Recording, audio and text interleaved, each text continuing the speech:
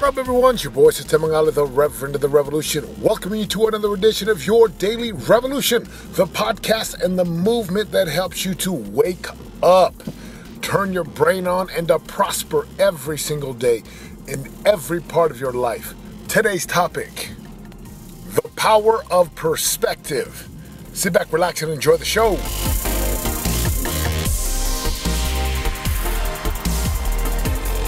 Was at the box this morning, the CrossFit box, doing a little workout, getting some sweat on, some stretch on, just getting my body stronger. And the gentleman came up to me and said, hey, You know, I've noticed your t shirt, I noticed what you do, so, so tell me about what you do. And we had a very powerful conversation. The conversation went something like this. In his words, he was, Well, you know, I'm not too happy right now. I can't seem to quite balance it. I make money, but then I forget about my family. Um, then if I, you know, go and spend time with my family, then I don't make as much money. And what he was talking about was what most high powered earners go through. And it's not even just high powered earner. Right? One of the greatest dilemmas that will always be is Am I spending enough time with my loved ones, with my family? Am I giving my family the time and attention? Because that comes about when we try to work hard, work overtime, make extra money, do extra jobs, pick up extra contracts. And thus, this dilemma continually goes in this perpetuating cycle. As I listened to him, he asked questions which were great, such as, you know, like, so, so how do you do it? I'm like, well, how do I do it? You know, how do you have it all? How do you, you know, make great money and also have a good relationship and you know, be in touch with your spirituality and your God. And I listened, and all I said was, perspective creates possibility. Which is principle number two in the 13 principles. Perspective creates possibility. What does that mean? And listening to my friend here at the gym, he said, Well, you know, one of my neighbors, you know, he's all about this. You know, I'm going to go full speed and my family better keep up. Now, there's nothing wrong with that perspective. Nothing wrong with it at all. You know, if you're that guy that's like, I'm going to make money, I'm going to put a roof over my family's head, I'm going to give them nice clothes, vacations, and and stuff, they just got to keep up with me because I'm going 100 miles an hour. I told my friend, like, that's not right or wrong, that's not good or bad. And he kind of looked at me like, what? Like, yeah, you know, just just take this on. That's not right or wrong, good or bad. It just is what it is. That's his perspective. Because I could tell my friend didn't really resonate with that message. He doesn't resonate because he's asking me about it. Of course, I'm like, well, that's his perspective, and that's what's true for him. Again, talking about his his neighbor who wants to just work gung ho, full speed, full blast, full steam ahead, and hopefully his family keeps up. Now, this comes back to principle number four clarity is power. So, what do you want? I asked my friend, well, what do you want? And he said, I don't want to do that. I'm like, well, great, neither do I, and I don't do that. So he says, What do you mean by perspective creates possibility? I mean, you know, his neighbor has a perspective. That's all it is. I have a perspective, and my perspective for me creates what's possible. His neighbor has a perspective, which is the truth for his neighbor, which means his family better keep up. But you know, the, the real problem with that is it really doesn't work if you want to have a family life. So, what does perspective create creates possibility? What does that mean? I explained to my friend at the gym. I said, "Well, you know, what if you had a different perspective?" he's like, "What do you mean?" I'm like, "What if you met people and had a conversation with them, which would allow you to then go into a space of, I now see." What is possible because I now can see. The only way he could see it is one of two ways. Number one, have someone speak powerfully about the way that they live about what's possible, how you can truly be in physical shape, great shape. You don't have to be super overweight. And you also don't have to be like this, you know, swimsuit model or this, you know, guy with the six pack abs, unless, unless that's what you want. But you can truly have a great body that's a temple, that's a weapon, that's powerful. At the same time, you could be spiritually connected to your Heavenly Father, to your God, to your Maker. At the same time, yes, at the same time, you could have enriching, fulfilling, deep, meaningful relationships with spouse and children. And at the same time, yes, not one, not two, not three, but four dimensions, you could actually have a very successful, thriving business. Only if you had what? A perspective. So the first way is to have someone speak powerfully and so clearly that you could not un- misunderstand. So great would be that individual's words, you could not misunderstand what was possible. And the second way is to get around other people who are living it.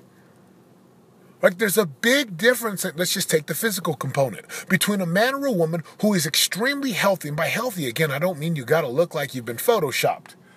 Simply, you feel strong. You work out, you know, daily and weekly and monthly, and you take care of your body, and you rest, and you get the work you need done, and you eat good food and greens and water, and you and you just take care of your body because power in, power out. And you get around something like that, and you're not healthy the unhealthy person's going to see something they couldn't see. They're going to feel something they couldn't feel. And they're going to hear things they couldn't hear. Why? Because they see someone living it. But you take that and times it by four someone who lives it physically, someone who lives it spiritually, someone who lives it relationally, and someone who lives it financially and with their business. What would open up if you can, number one, hear someone talk about it and create it so vividly with their language, and number two, you could see it and feel it? What might be possible in your world. My brothers and sisters, this is not just some fantasy or some dream. This is reality. This is a true way of living and a way of being. Now, the only way you would even think that this is possible is what? Is that you would hear my words and then have some faith or belief on it, and then have just a desire to try upon the experiment of what I'm telling you that you truly can have it all. You don't have to be the guy that's like, well, my, my family better keep up. And at least I'm giving them a good roof over their head. And at least I'm providing for them. Dude, that is garbage. No man, no woman wants to be on their deathbed and say, look at how many hours I worked. Look, look at all the money that I made. Who cares at that point? It's where are the memories? What is the legacy? Did you create power with your relationships? My brothers and sisters, then we come to the question, which is principle number four what do you want?